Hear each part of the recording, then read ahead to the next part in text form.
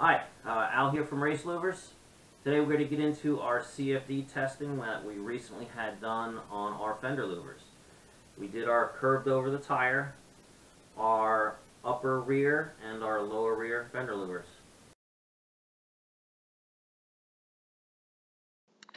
Okay, CFD is a simulation of the real world. So in order to have the best uh, outcome for our project here, um, we just didn't rely on the external scans of the car only. We had the external scans, we had underbody scans, wheel well scans, front grille scans, and also the engine bay scans so that we can simulate the flow over the car, under the car, and actually through the car um, to get the best or most accurate uh, CFD data. So if you see uh, CFD data out on the internet and they only use external scans or they attempt to CAD model the engine bay, for example, instead of scanning it, uh, or even if the part is tested in freestream air and not on a car, uh, just realize that that data is going to be um, very inaccurate.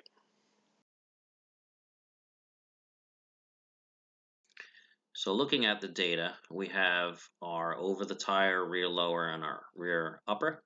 And blue is the fender liner intact with just a small hole cut in it for the louver itself.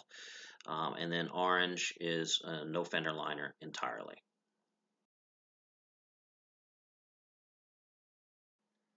So now we know our uh, coefficient of lift and coefficient of drags are for the three different fender louvers in CFD, we took it a step further and we put the same car uh, with the curve over the tire fender louver in the wind tunnel um, so that we can get actual uh, wind tunnel data on this setup with uh, hole in the liner and no liner at all.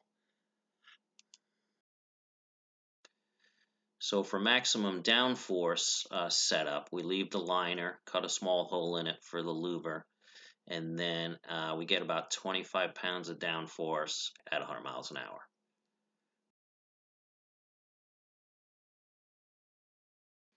For maximum cooling, uh, we remove the front part of the liner, and as you can see, we get a, a small gain in radiator cooling, but we get a significant gain in the oil cooler cooling and I should note that that oil cooler is in the front corners of the car and it feeds into the fender wells.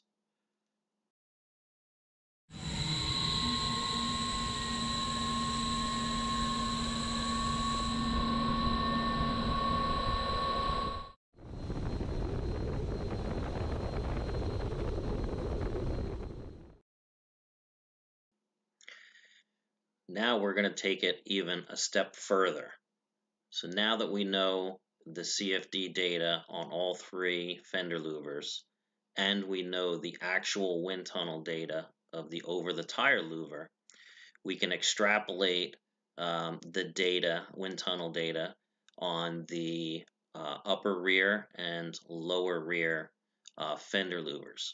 So I should note um, that generally speaking, for most cars, the over the tire and the upper uh, rear fender louver uh, are generally about the same size. Uh, however, the rear lower um, fender louver varies in size from car to car. Some cars have a big fender uh, behind the tire, some don't. So we list the largest louver and then we list the smallest louver for the rear lower position um, so that you can get an idea of how the three um, function in relation to each other. So, generally speaking, the over the tire, uh, upper rear, and our medium size uh, rear lower fender louver all function approximately the same. All right, as you can see, this was a really cool project. Um, I want to thank Kyle Forster from JKF Aero and also the guys at AeroDyn Wind Tunnel uh, for great data, great experience. Um, all this information uh, will be in the PDF on our Race Louvers website. Um, also, for those of you that don't know, uh, myself, uh, Race Louvers, and AJ Hartman Aero have joined forces to form a new company called Track Aero Consulting. So I highly encourage you to check out that website. And um, that's it. Thanks for watching. See you next time.